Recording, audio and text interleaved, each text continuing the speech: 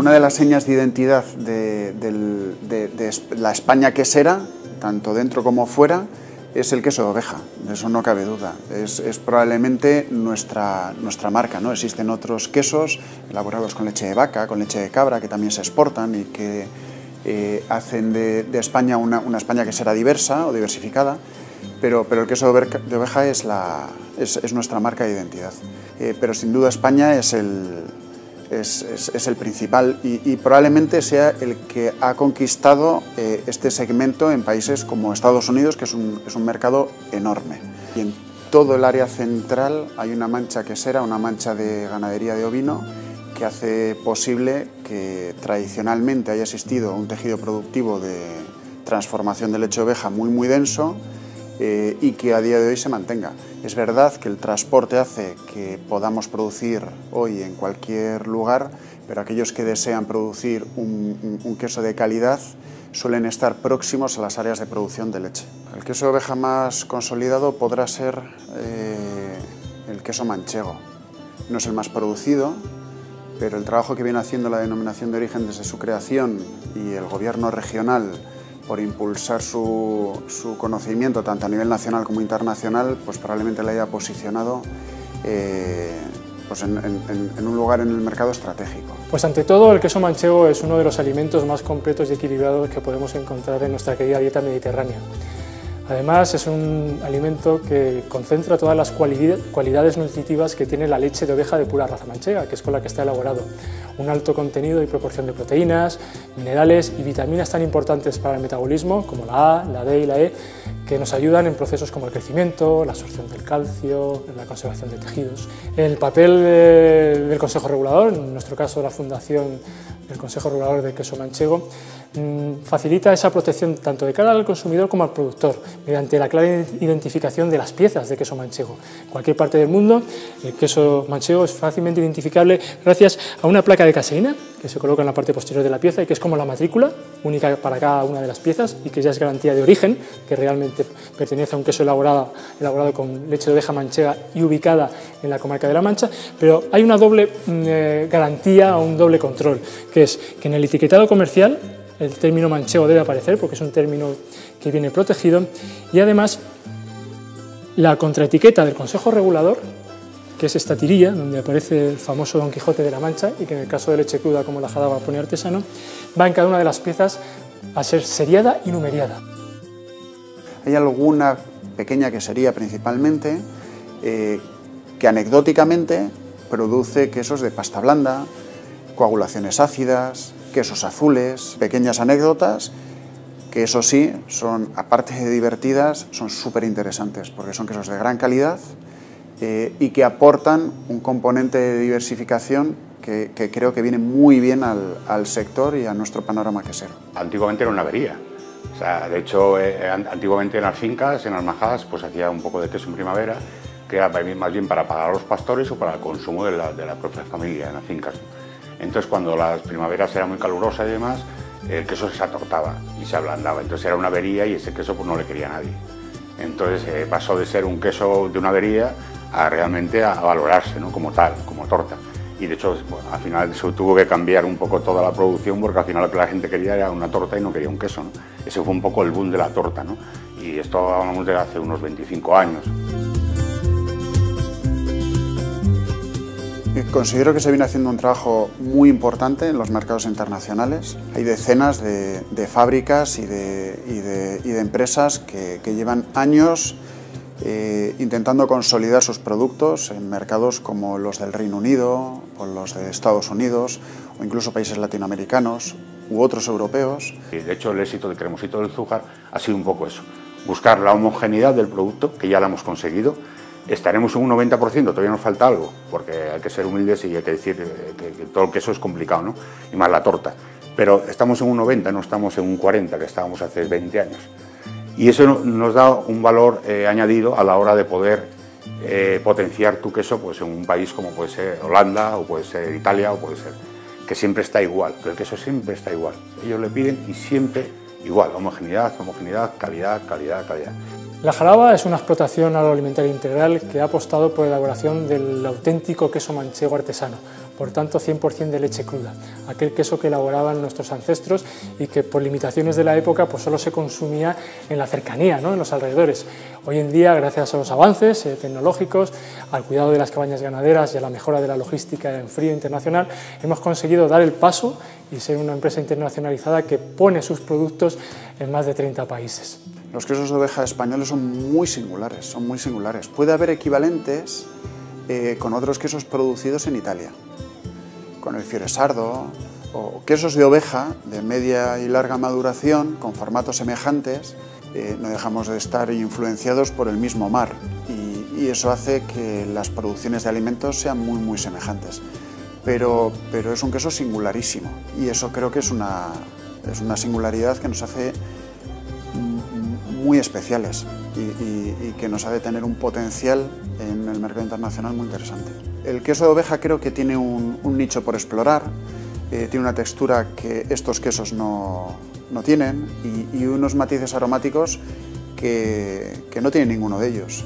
Y, eso se lo dan pues, pues las ovejas, el clima que nosotros, que nosotros tenemos y sufrimos eh, y que influye necesariamente en su alimentación. Entonces creo que, creo que hay mucho por, por explorar. Eh, pero, pero qué duda cabe que, que, hace falta un esfuerzo muy importante por hacer entender al consumidor que el queso eh, tiene múltiples formas para ser consumido. Es un queso muy típico de Extremadura, un queso que no hacen en ningún sitio del mundo y que llama mucho la atención por la cremosidad que tiene, porque es un queso que no es de cortar, que es de untar, entonces eso sí ya llama mucho la atención. También es una gran ventaja porque a la hora de que la gente lo ve, pues le llama la atención más que cualquier otro queso que tengas que cortar. Entonces eso también ayuda un poco a la hora de, potenciarlo eh, en el exterior, ¿no? porque siempre llama la atención y todo el mundo quiere probarlo. En los mercados internacionales últimamente sí están demandando productos nuevos, productos artesanos, productos que, eh, que ellos vean diferenciados del resto. ¿no? En nuestro caso, el cremosito Zújar es un queso eh, totalmente diferenciado en muchos países que no lo han visto nunca, entonces eso sí ayuda mucho a la internacionalización. Sí que hay mercados en los que hay un nicho de especialización que sí que busca ese, queso de calidad. Eh, y, hay varios países que, lo están demandando, pero qué duda cabe que, el consumidor de calidad también, ese que tiene posibilidades económicas y que tiene una educación gastronómica, busca ese, producto. Lo hay en todo el mundo. La tendencia de la vuelta de la actividad quesera al mundo artesanal, al tradicional, encuentra detrás de, ella al consumidor. El consumidor es un consumidor informado, que cada vez demanda saber más sobre el producto que va a consumir, que está más preocupado por la salud, que conceptos como del campo a la mesa y la correcta nutrición y equilibrio es lo que busca cuando se alimenta y sobre todo también porque las queserías artesanales en esta última década han visto, aparte de mejorada su capacidad técnica, también han visto como logísticamente, la logística internacional, la temperatura controlada, también ha avanzado mucho. Y eso unido al auge en los últimos años de las denominaciones de origen que han propiciado que pequeños artesanos pues, vayan bajo el mismo paraguas, pues ha permitido que esa tendencia, no solo por la parte del consumidor, sino por la parte del productor, como un nicho nuevo de negocio, pues experimente un, crecimiento ¿no? en el caso de, de las queserías artesanales como la Jaraba. Y últimamente te puedo decir que hay un porcentaje importante en España de queserías artesanales que se han montado en, pues en la última década, ¿no? sobre todo si hablamos en todo el norte de España, que es donde más queserías pequeñitas se han montado, ¿vale? y después también bueno, en algunas zonas del sur se están montando estas queserías y eso es importante porque está dando una gran variedad, una gran recuperación de recetas tradicionales que se habían perdido y hace también eso, de cara al exterior, también hace que tengamos una variedad frente a los consumidores exteriores, con lo cual tenemos más posibilidades de vender porque tenemos más variedad de producto. Hay mercados como el, de, como el de Estados Unidos en el que el queso de oveja español está en las grandes superficies, son las tiendas especializadas, pero siempre en el mostrador. En el Reino Unido, por ejemplo, en el que hay una presencia de restauración española muy importante, de hostelería española, el, el consumo de queso sí que, está, sí que está diversificado. Hay una muy buena parte del consumo de queso español que se hace en los, en los restaurantes españoles. Tú tienes que saber seleccionar el mercado, es decir, el objetivo de aquí a tres años es este mercado y me centro en este mercado. Y cuando le tengo un poco abierto, ya me centraré después en otro. Lo que no te puedes centrar es en, muchos mercados porque las empresas artesanales no podemos llegar a esos sitios tan rápidamente, ¿no? Y hay que ir poco a poco. Este reto en la jaraba, por ejemplo, de la internacionalización fue muy importante desde el principio, hasta el punto de que actualmente mm, el 60% de la producción se encuentra dirigida al mercado doméstico, pero el otro 40% se viaja a mercados internacionales con destinos eh, tan variopintos como Estados Unidos, Perú, Centro Europa y Francia principalmente, pero siempre con el término de manchego y manchego artesano de leche cruda como bandera ¿no? en el producto que, que, elaboramos. Nosotros sí que hemos percibido que en los últimos años, eh, cuatro, cinco, seis años, la verdad es que nosotros somos una empresa muy joven también, pero sí que hemos notado eh, un mayor interés por parte del consumidor por las pequeñas producciones, eh, no por ser pequeñas, sino por la posibilidad de conocer con, eh, con, ciertas garantías una buena trazabilidad del producto. Al consumidor le interesa saber qué está consumiendo y de dónde viene. Eso en primer lugar. Si además tiene otros atributos, como que procede de una, eh, en este caso, de una ganadería que sería que se rige por las pautas o los criterios de la agricultura ecológica. Eh, si además se trata de una quesería que tiene su propia ganadería, es decir, que controla la producción de leche. Eh, si además se trata de un pequeño productor que tecnológicamente es capaz de hacer quesos de calidad y regulares a lo largo de, todo el año. Todo eso suma. Pero qué duda cabe que el consumidor cada vez más quiere saber qué está consumiendo. Para entrar en un mercado internacional es, tienes que vender algo totalmente diferente algo que llame la atención. Últimamente eh, tiene que ser un producto que venda naturaleza, porque hoy en definitiva cualquier producto que la gente va a comprar quiere naturaleza, ya quiere ecología, quiere algo natural. Eh, les interesa, como he dicho bien antes, eh, mucho la historia del producto. Por eso quieren saber la historia del producto.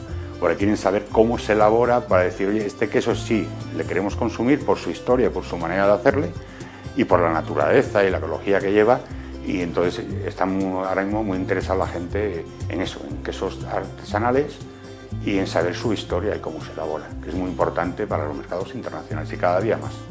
Nuestro estilo, por el que los consumidores están encontrando nuestro queso manchego diferente, es eh, por una alta limpieza de aromas, un aroma muy limpio, por una capacidad y potencial de maduración importante, por un carácter de fermier, como dirían los americanos farmstead, porque es un queso de granja realmente, porque la ganadería pase junto a la quesería y encima con cultivos propios de la finca, y al final eso impregna ¿no? cada una de las piezas que salen de, de la jaraba.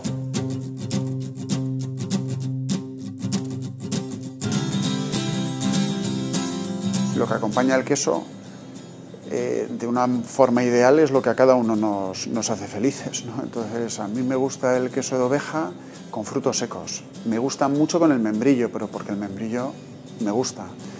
Eh, me gusta mucho con el vino, pero porque soy un apasionado del vino. Depende del momento del día, puede acompañar muy bien algunos quesos de oveja. Eh, hay destilados que funcionan muy bien con los quesos de oveja. Entonces, depende del momento y de la compañía, pues creo que, podemos... El pan, el pan no puede faltar. Eh, incluso la fruta fresca. Desde frutos secos, desde frutas del bosque, eh, puede marinar también con alguna bebida como champán, por ejemplo, y últimamente también se está marinando mucho con vermouth. Es muy interesante, es algo muy interesante, igual que con cervezas, eh, y la verdad que todo eso es muy importante porque estamos intentando pues eso, eh, marinar con una serie de productos donde eh, al final no solo vendes un cremosito, estás vendiendo otra gama de productos como puede ser un pan artesanal, que últimamente hay un boom en España de panes artesanales, que es importante y entonces eso sí ayuda a generar y, vender y, ayudar a, los demás sectores de alimentación a apoyarnos entre todos en esos marinajes para poder vender todos los productos y dar a conocer una gama de productos amplia, no solo un queso, no solo un vino o no solo un pan. La polivalencia del queso manchego como alimento equilibrado y saludable nos permite degustarlo a lo largo de todo el día el desayuno con un pan artesano, al mediodía o como snack, ¿no? Eh, tentempié durante la jornada laboral y particularmente como a mí más me gusta que es terminando la jornada laboral con un buen plato de queso manchego acompañado de un, de un gran vino, ¿no? si es un vino manchego mejor.